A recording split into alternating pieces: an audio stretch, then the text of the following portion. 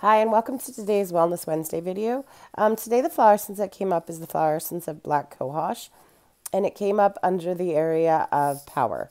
So, what Black Cohosh does is it helps us to embrace and release those parts of ourselves that we've disowned. Those um, it helps us do the shadow work, is pretty much what it is. And so, for those of you who don't know what shadow work is, shadow work is embracing all of who you are. So, um, the best way to kind of explain it is anything that you kind of maybe judge in others is a part of you that you have denied, a part of you that you have deemed unworthy or um, not acceptable, bad, negative. And so when we deny that part of ourselves, we push it down and we push it down and um, we judge in other people because it's a part that we are like, oh, I could never. Um, and that's what shadow work is, is um, part of shadow work is bringing those shadow parts out to the light um, and knowing that that's a part of who you are and loving and accepting that that's a part of who you are. So, um, Black Cohosh helps us with that shadow work.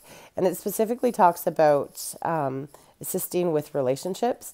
And I know it keeps coming up a lot for me lately um, that when we look at our relationships, they are a great indicator of what's kind of going on with ourselves in our relationship with ourselves.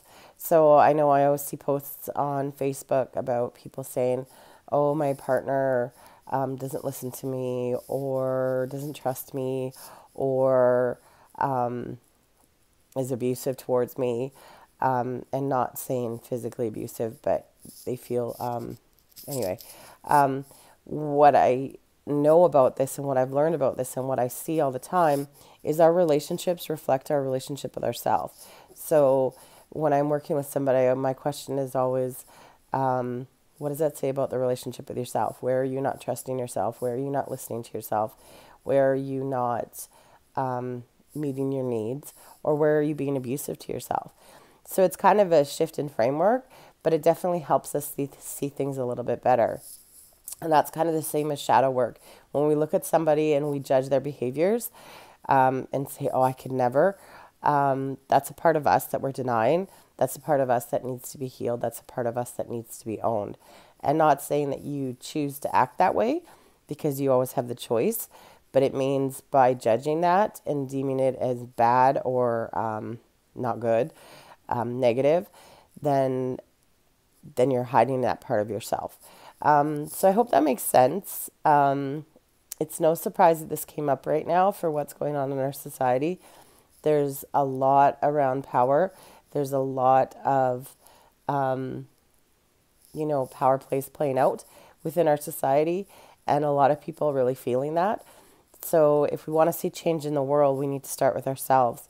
So, make sure that you are um, not sitting in judgment of others, um, but actually recognizing that that is a reflection of where needs healing in you.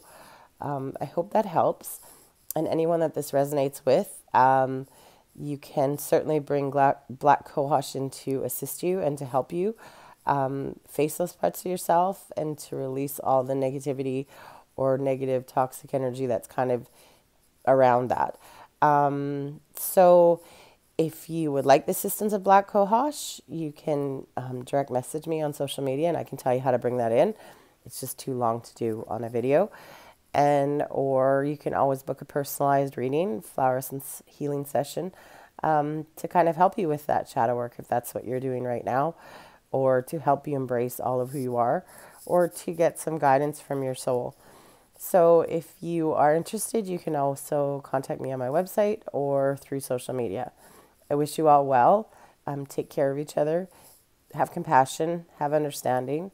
Um, and yeah, take care.